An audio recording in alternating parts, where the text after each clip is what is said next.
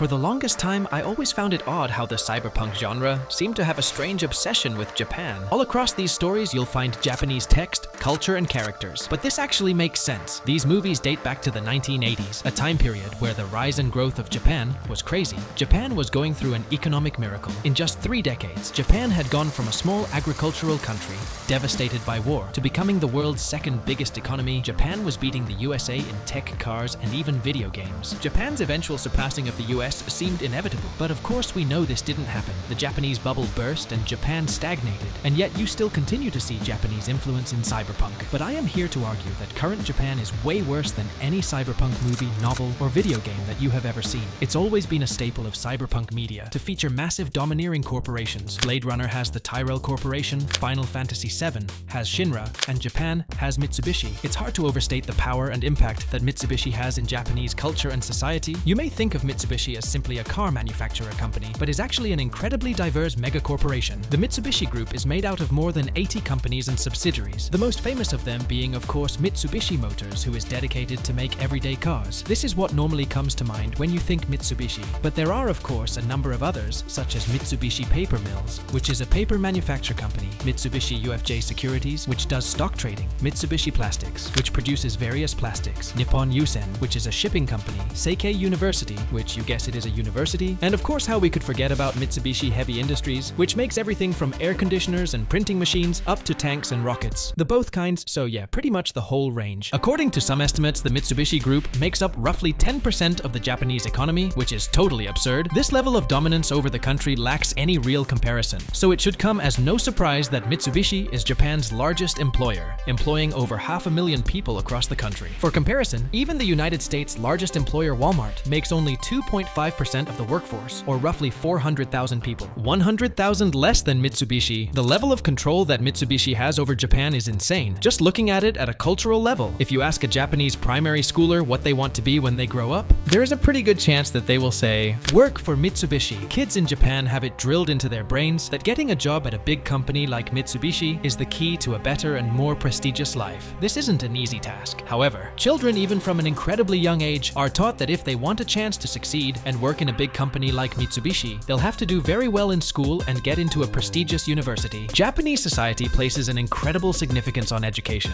A normal day of a high schooler student could go like this. School day starts at 8.30, but wait, you have to arrive at least 15 to 20 minutes before, because in Japan being on time is being late. Then you would have normal classes until 3.30, but the day isn't over, because then comes the club activities, which could be mandatory or don't. But it doesn't matter because it is expected by society that you do it otherwise, you will be considered a sloth and or a delinquent. Something that will certainly will not look good on your university application, and you obviously wouldn't like that. But anyway, your club activities ended at 6, so now after almost 10 hours of work, you are free to relax and enjoy your short but valuable teenage years, right?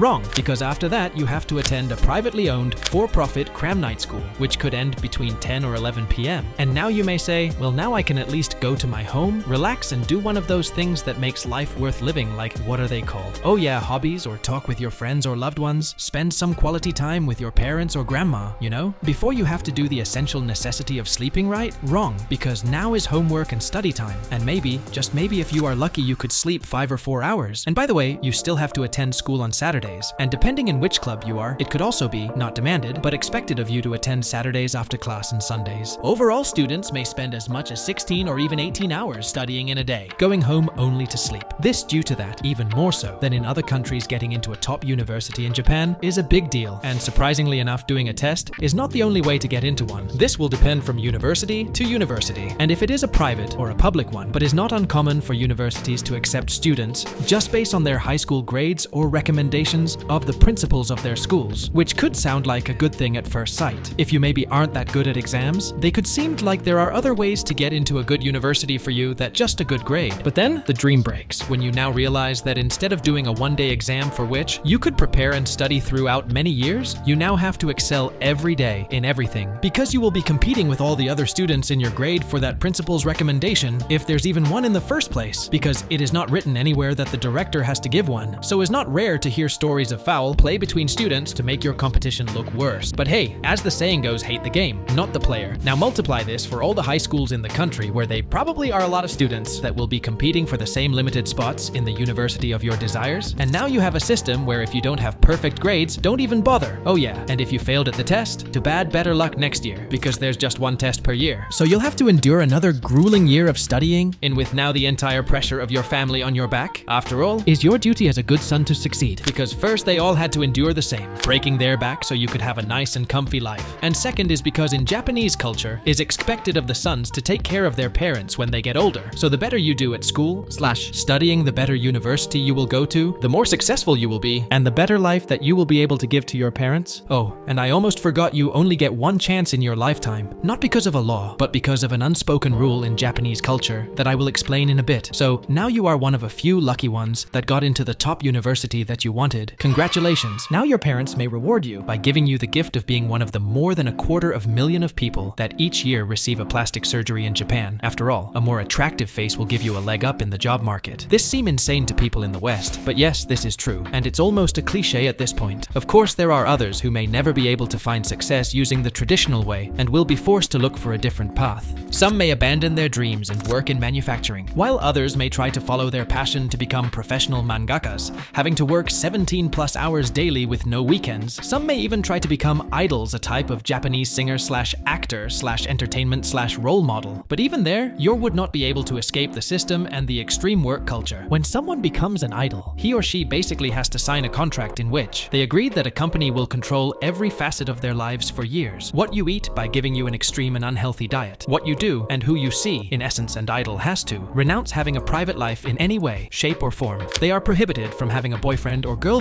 much less have children, and will have to endure extreme practice hours, and will literally be dropped by their label at the first scandal, which could be something as simple as just having a relationship, because nothing less than perfection is expected from them. But at least the pay makes all this sacrifice worth it, you may say. But you'll be wrong again. They aren't that much more wealthy than what you or me probably are. This because of very predatory contracts that the talent has to sign just in order to become famous, in which the company will take 80 or 90% of their earnings. Let me repeat, that is not 80 or 90% of the money that you will be producing if you become an idol. That's 80 or 90% of that money after you remove all expenses, with the pay being less if you are part of a group where you have to split the money even more, with each participant taking a cut. And please be careful, as is a guarantee that you at least will have a few dozen of stalkers that are willing to do anything and everything to get close to you. But not too careful as to not see like you don't like them, because first, the appeal of idols is that they are selling the idea that they can be your girlfriend slash boyfriend. That's why they are prohibited from having a partner. As you see, according to a survey, 61% of men between the ages of 18 to 34 doesn't have a partner with almost 40% never having a girlfriend to begin with. And the same story tends to repeat with women. And second, because that will be seen as rude, disrespectful, and you not loving your dear fans who are giving you all their support and money so you can escape the system and finally live your dreams. This extreme work culture which propelled Japan onto the world stage as a major economy is also slowly destroying it. Extreme overworking has caused a mental and health epidemic, so much so that they even invented the term karoshi which means death by overwork. And karoshi isn't like a new thing. It's a word that has been in the Japanese lexicon since the 80s. This is considered one of the main causes of the low birth that Japan is currently facing.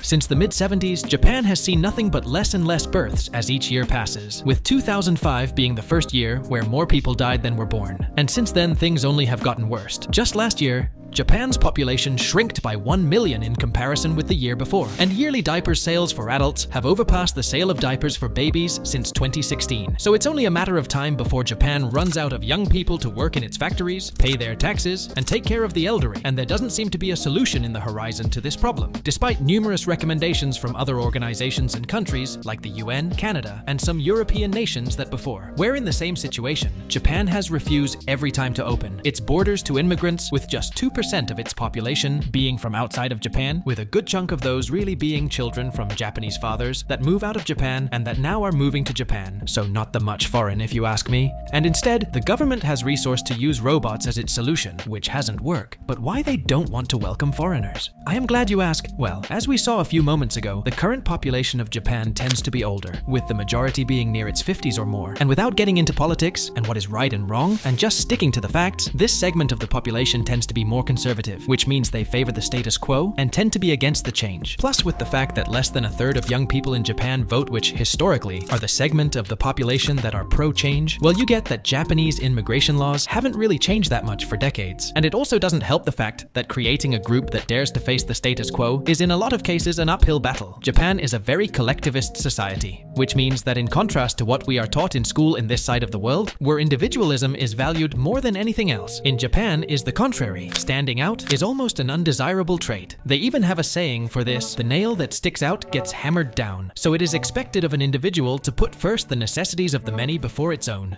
even when this thinking may not give the best results. So a lot of times people just don't express their disliking of the establishment, and it also doesn't help that even though in paper, Japan is a democracy, in reality, not so much. With the same party being in the power since the 40s, with only two exceptions in 1993 and in 2009, which may only happen due to the two more extreme economic recessions that Japan has faced in its recent history. The second one happening because of the 2007 recession, and the first one happening because of something that we will discuss later in the video. The party who basically runs Japanese politics is called the Liberal Democratic Party, or LDP for short, which despite what its name may suggest, is actually a very conservative party. They have so much power that he or she who becomes the president of the party is commonly referred as just the Japan Prime Minister, as it tradition that the one who rules the party will be in the ballot's next election, and with almost 100% certainty will win ups. Sorry, I just made a mistake there, because that's not actually how Japanese politics work. Things there work different from the West, because what actually happens in election day is that you just vote for the party that you want to win, and they, in your name, elect who they want to become prime minister. And by the way, this isn't a UK situation where they tell the public who are they going to elect before election day. This just happens after they won. And if you want to change how this system works because you don't like it, good luck as the LDP has more than half of the seats in the Diet, their equivalent of the House of Representatives, and the Senate in the US, or the Parliament in the UK.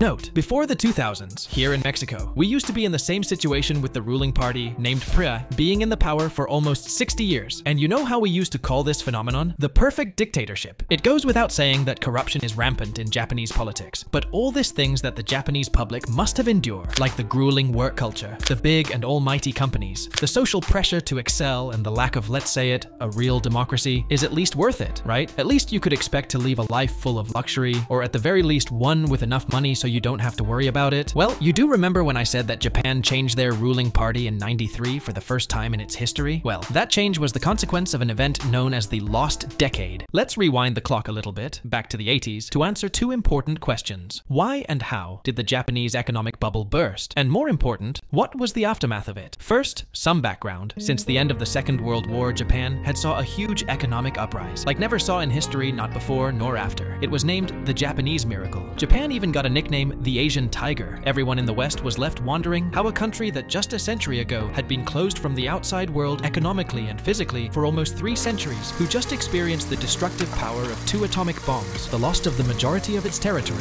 a coup and takeover from a foreign government, could in just a few decades be now facing head to head to the almighty USA, the same country that took control of him a few decades ago, as the second biggest economy, for God's sake. There were even some people discussing that maybe Japan had already the USA economy as the ruling power. All the top five banks were Japanese, the biggest car and technology manufacturers were Japanese, they were even making their own entertainment that was beginning to compete with Hollywood. I think this next fact sums up pretty well how big of a deal Japan was, because is bonkers, just the ground where the real palace was, was worth more than the entire land of the state of California. But all this, the big parties, the suits, the luxury cars, and then the house market collapsed. Everything came crashing down in a big fashion with the coming of the new decade. Just in 1990, the Japanese economy went down by 43%, almost half of what it was just a year ago. People started calling Japan the crouching tiger or the sleeping tiger of Asia. It goes without saying that it was not a good time to be a Japanese worker, especially someone entering the workforce. If you were someone who entered to work in a big company a year before, you were one of the lucky ones because, yeah, you would have to endure the high prices, the depreciating value of the yen, the Japanese currency, and of your house. But at least you had a paying job. Due to how Japanese laws work, they have this concept of worker for life. In the majority of cases, it's literally impossible for the company to fire his employees unless they do something very, very bad. And I am talking like newsworthy bad, which makes companies very careful with who they hired. So a lot of companies, the bigger ones, the ones that everyone wants to get into, have one annual event where they will do all the hiring of that year. Yeah, just one time for the entire year. And they have the policy of just hiring people fresh out from university, which means they could mold to fit the company culture. So let's just, I don't know, hypothetically say if one sudden, unseen, unheard of event that would change the economy of Japan for decades to come so big as to be the culprit of making Japan the country with the biggest external debt in the world, said debt being two times bigger than all the money Japan produces in one year, even to this day, after more than three decades after the event happened. And that by law, you as a company are prohibited from firing people. In order to cut expenses, what would you do? Yeah, they didn't hire anyone for several years, and this had big consequences. You see, the people that were graduating from college and university suddenly found that they had a title which was essentially worthless. They could do nothing with it because no one was hiring. And hey, bad luck. They will just have to try better luck next year. And if the same happens, then they'll just need to try next year. And if the same happens, then they'll just need to try next year. And if I think you can see where I am going with this, this no hiring policy continued for multiple years. And by the time companies began to hire again, a lot of years have passed. So as this company saw it, they had two options. Either hire someone with no experience in the field who already had experience in other jobs, like part-time, little companies, etc., which meant that you couldn't mold his or her mind from zero because they already experienced the culture of another as they saw it, lesser companies, and who because were older basically meant that due to the law you will be stuck with them from life, so they will be working less years for you because they will hit age of retiring sooner. Or option two, you hire a fresh guy right out of college who didn't had none of those cons. Again, what will you do if you were a company? They went with the latter, and as a result of this, a huge part of the population couldn't find work and had to resort to little works here and there, maybe some part-time jobs, but nothing concrete and is estimated that today, half of Japanese workers live in a similar situation. This event affected all faces of Japan, because this people didn't had a job. It meant that they couldn't buy a house, so they took one of two paths. A.